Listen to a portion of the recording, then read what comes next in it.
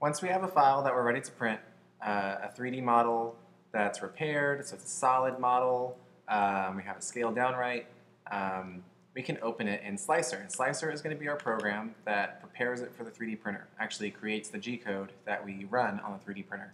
Um, so Slic3r is a free program you can download from the internet, and uh, it has a million different options that you can change, but we're just going to worry about a few of them. Um, now, when you download it and first run it, it's going to have a startup wizard that asks you all kinds of questions about what kind of printer you have, what size your filament is, um, and you can just use all the default values on the startup because we are going to load a configuration file from uh, Lulzbot's website, or probably whatever kind of printer you have, um, they will probably have a page that lets you download um, profiles. So this is uh, a text file. So if I click on one of these, it just gives me a text file that has all this information about um, what the acceleration needs to be, what the fill density is, um, all these different options that tells Slic3r about our printer so it can generate code that runs on it. Um, but uh, we don't want a plain, we don't want to look at the text, we want to save it in a configuration file. So we're going to hit right click on um, the quality and the material that we want. So we're going to do a medium detail uh, PLA print. And so we can right click on that and save the link. Um, it gives you a really descriptive file name, so that's good. Save it in downloads, it's fine.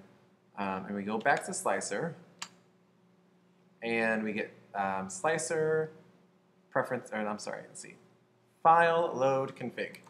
Um, find the configuration file you just downloaded, um, medium PLA, no support, and um, that fills in a bunch of numbers in the print settings, and the filament settings, and the printer settings, um, so that the bed size, the size of filament, um, oh, if it doesn't look like this, before I go any further, you want to make sure that um, if you go to preferences, you can choose from simple and expert. There's a few options that we're going to mess with that are only available in expert mode. So make sure you have expert enabled.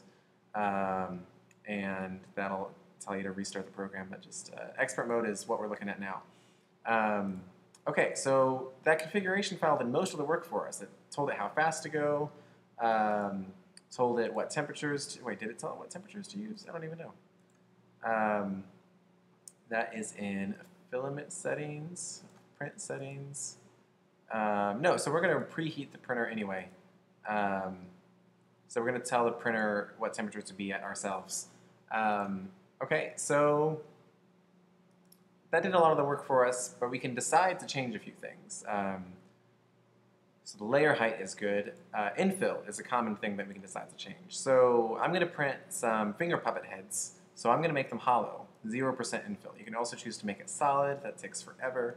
Uh, or anywhere in between. 40% will give you a really strong part. I find that even a 15% infill uh, is a, pretty strong part. But uh, if your if your part will print out hollow, um, by all means hit 0% fill density. It'll be a lot faster.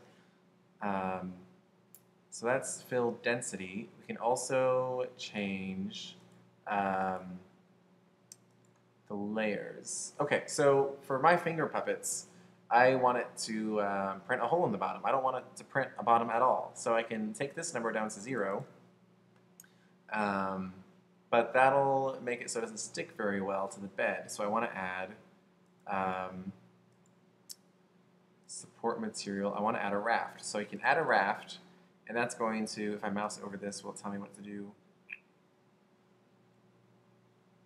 Ah.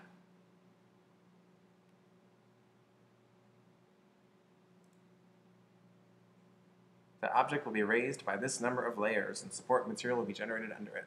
So raft is really helpful um, to help it stick to the bed. Um, you can click this box to generate support material if uh, you feel that your object is going to need it. Um, so Slic3r doesn't decide if your object needs support or not. You have to tell it what to do. Um, so for my head, um, here we got it right here. Um, this isn't going to need any support. It'll print just as it is, hollow, no support. It'll print really fast. But if you've got like some hair or some hats floating in the empty air, you want to click this and generate support material. Um, so we got all that selected. So once you've changed what you uh, want to adjust, um, one last thing I'll recommend is to uncheck this box under layers and perimeters, uncheck avoid crossing perimeters. This is a, uh, an option that um, I think is for particular kinds of printers. It says if you have a Bowden extruder. I don't think I do. Um, and, but it really slows down um, the G-code generation. So you want to uncheck that box. Uh, otherwise, it'll take forever to slice. Um, but once we've made all those adjustments, we can add our part. Um, we've got Patrick's head right here.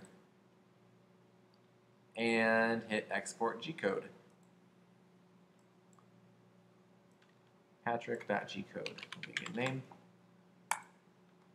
Uh, and since this is such a small file with 0% infill, it won't take very long to slice.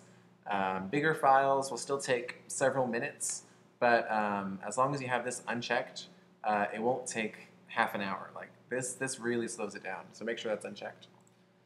Um, and now it's done. So we'll uh, start the next video on how to actually uh, get that print over to the printer. So that's all for now.